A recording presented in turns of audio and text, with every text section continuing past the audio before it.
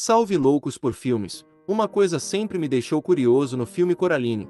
Por quais motivos o outro Aibe e o outro pai ajudou Coraline, sendo que ninguém mais no outro mundo tentou ajudar. Assistindo novamente para ver se tinha deixado passar algo e conversando com minha patroa, chegamos a uma nova teoria. Então já vai deixando seu like, ative o sininho e vamos pro vídeo.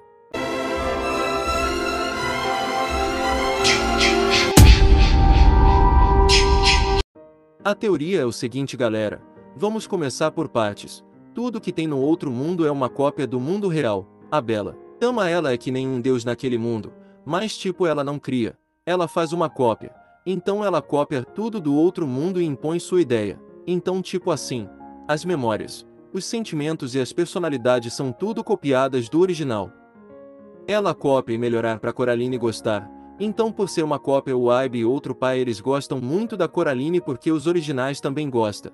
Então eles nunca é a fazer mal a ela porque os sentimentos dos dois originais estão ali nas cópias. Aí vocês falam, mas se louco é a senhora e o senhor Bobinski também gosta dela. Sim gosta. Mais diferente do pai de Waibe, eles tinham um grande sonho.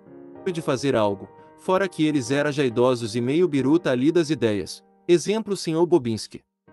Queria ter o circo dos camundongos e lá no outro mundo eles conseguiu isso, e a senhora ainda queriam ser do teatro e no outro mundo elas ainda era do teatro e sendo que ainda era moças novas.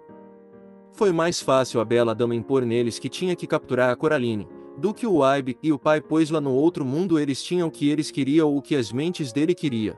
E se Coraline fugisse ela ia acabar com tudo, e o pai o Aibe da vida real não tinha nada superior à amizade que um tinha com Coraline e o amor paterno que o pai tinha na vida real. Então esses sentimentos que ele tinha na vida real foi o suficiente para ajudar a Coraline no outro mundo.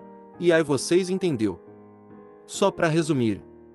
O Iabe e o outro pai ajudou Coraline porque os originais gostavam muito de Coraline, e eles tinham o mesmo sentimento dos originais, porque eles não eram uma criação e sim uma cópia, entendeu? Espero que sim. Mais qualquer dúvida deixa nos comentários, e não esqueça de ativar o sininho e deixar o like. Valeu!